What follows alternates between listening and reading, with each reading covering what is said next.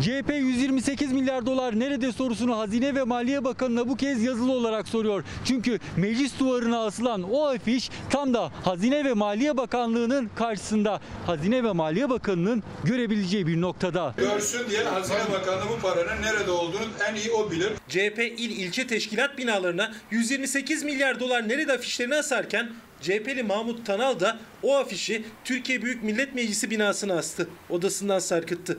Tanal'ın odası Hazine ve Maliye Bakanlığı'na bakıyor.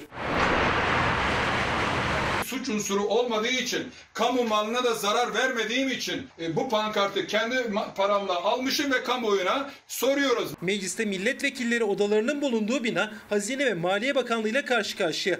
Bir yolun iki cephesinde iki bina. Hazine Bakanı Lütfü Elvan 128 milyar dolar nerede sorusuna sessiz.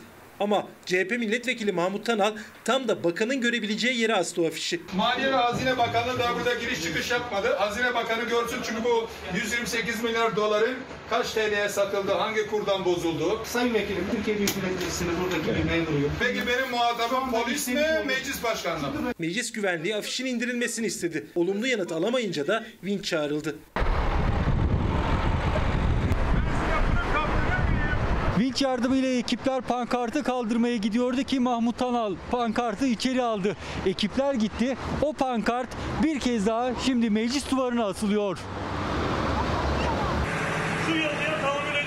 Gece yarısı CHP'nin ilçe teşkilatlarında da yine polisler ve vinçler vardı. Afişler toplatıldı. Karaman Valiliği 128 milyar dolar nerede afişinin kaldırılmasına gerekçe olarak Covid tedbirlerini gösterdi. 250 kağıdın yarısını nettiniz deyiversenize afişini indirme için itfaiye araçlarını seferber etmiş durumda. Kastamonu'da CHP ilçe teşkilatı yeni bir afiş hazırladı. Bu kez Kastamonu şivesiyle. O afiş de kaldırıldı. 128 milyar doların nereye gittiği belli değil. Şimdi ne yapıyorlar?